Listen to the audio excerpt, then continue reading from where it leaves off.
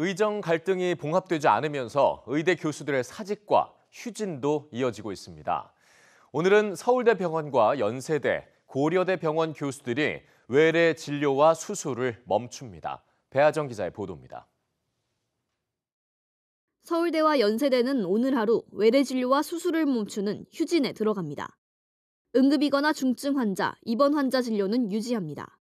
중증이나 입원, 응급실은 다 운영 중입니다. 근데 이게 자율청하다 보니까요. 저희가 한 학기 돌아왔는데 실제로 휴진하시는 교수님이 마- 많이 없으시더라고요.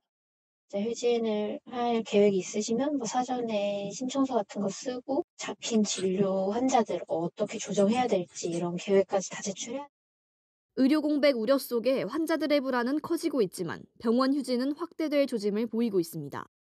경상국립대병원도 오늘 일부 교수들이 자율적으로 휴진에 동참했고 서울 아산병원과 서울 성모병원 소속 교수들도 오는 금요일부터 휴진하겠다는 입장입니다. 교수들의 사직도 이어졌습니다. 원광대병원 교수들은 어제 병원 강당에 모여 단체로 사직서를 제출했습니다. 이미 병원에 제출한 사직서가 결재되지 않아 대학에 다시 제출한다는 겁니다. 정부는 어제 열린 브리핑에서 병원 하루 휴진이 현장에서 어떻게 진행되는지 모니터링하고 판단하겠다고 밝혔습니다. 또 실제 형식과 요건을 갖춘 사직서가 굉장히 적다며 공백은 크게 없을 것이라고 전망했습니다. EBS 뉴스 배아정입니다.